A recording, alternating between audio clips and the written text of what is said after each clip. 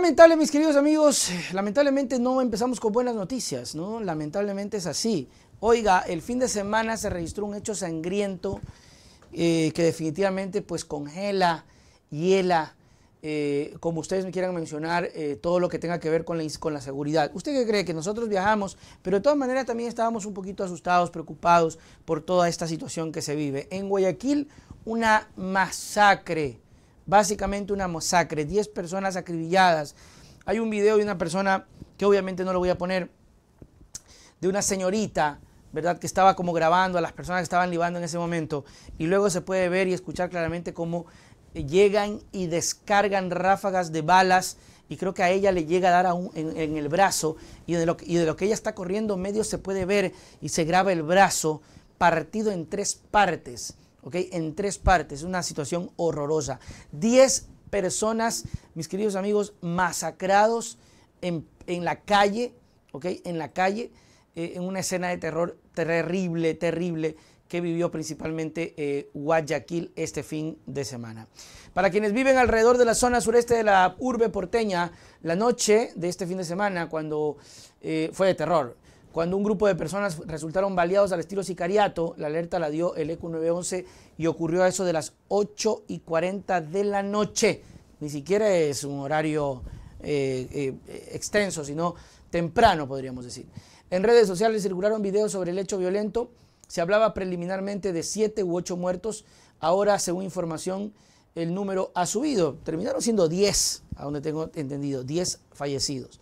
Según testigos, varios hombres llegaron en una camioneta con fusiles, dispararon contra un grupo de personas eh, que estaban en un taller mecánico, en una reunión, luego de haber tenido un partido de fútbol. Se escucharon más o menos unas 50 detonaciones. O sea, una niña también resultó herida. Y murió el que estaba mal parqueado, a, a quien le haya llegado una bala, pues fue.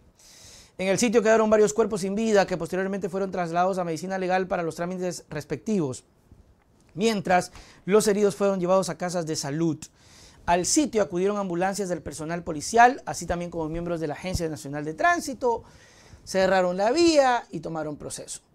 La fiscalía indicó que con el apoyo de la policía se levantaron varios indicios en el lugar, entre ellos un arma de fuego tipo fusil y otras armas de 9 milímetros. Al momento de realizar el operativo se ubicaron a los eh, supuestamente presuntos asaltantes, si es que existan personas detenidas la Policía Nacional participa con la Unidad Investigativa de Inteligencia. ¿ok? Según datos de la policía, cuatro de los fallecidos presentaban eh, antecedentes penales. ¿ok? Lo dijo en una rueda de prensa el general William Villarroel. Creo que la tenemos.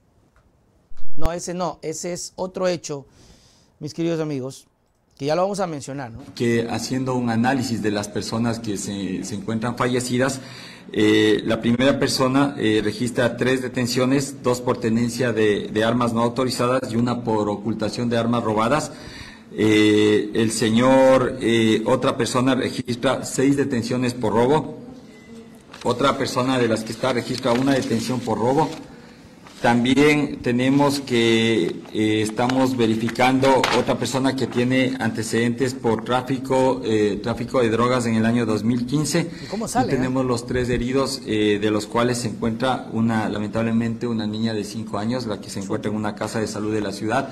Al momento está estable y va a ser intervenida por, por un tema de unas esquilas. Ojalá que se Eso es lo que podemos manifestar. Hemos estado inmediatamente verificando con nuestras unidades especiales. Eh, creemos que se trata de, una lucha de los grupos delincuenciales organizados.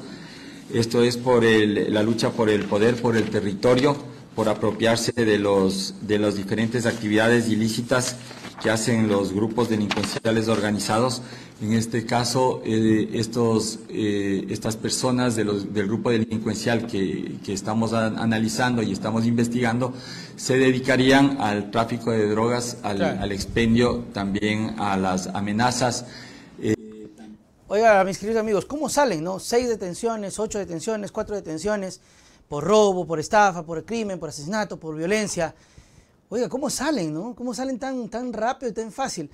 Acá, mi madre, debes a Marcimex, a créditos económicos, por un celular que sacaste hace 20 años y, y te quieren pero meter eh, toda tu vida a la cárcel y te persiguen y te atosigan y tú quieres hasta desaparecer por una deuda. Sacar una cocina en un centro comercial y no puedas pagar es el peor crimen que puedes cometer en este país. Pero acá vemos gente que mata, viola, destroza, atenta contra el pudor, crimen, robo, estafa seis detenciones. Quiere decir que ya, o sea, solamente para que entiendan un poco la, la debacle de nuestra sociedad, seis detenciones. O sea, seis veces, o sea, cinco veces. Ya. A la tercera vez, el juez, el fiscal o lo que es, el quien lleve el proceso, ya es pues, para que vea, oye, ya te han detenido dos veces, oye. O sea, ya, no, pero al pana le dejaron cinco veces más. No, seis veces más. Y eso es poco. A veces se encuentran notas como el señor que está aquí detenido presenta 11 detenciones. Ya no le detengan. Ya déjenlo nomás. Es por gusto. Manden a hacer una hoja de Excel más larga, no sé. Ya no le detengan. Increíble, pero acá una media deudilla que tienes y la vida te quieren embaucar, te quieren, eh, ¿cómo es? Este, congelar las cuentas. Todos quieren pasar.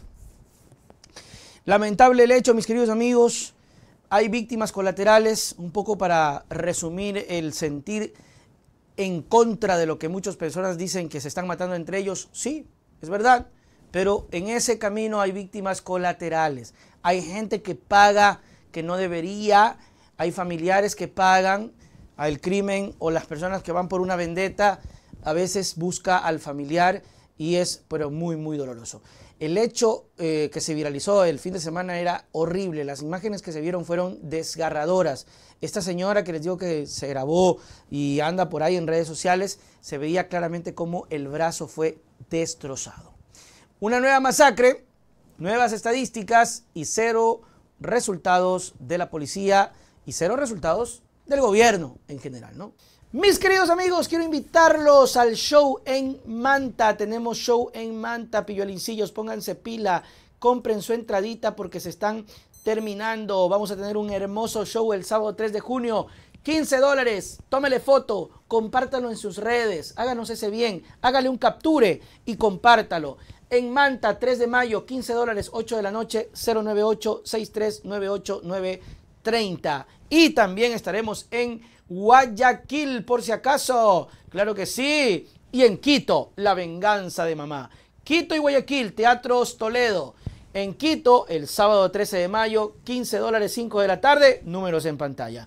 Y en Guayaquil, el jueves 11 de mayo, 15 dólares 8 de la noche, ventas en pantalla. Ya saben, mis queridos amigos, tómenle una foto, compártala para que más personas nos puedan comprar. Nos vemos, pillolincillos.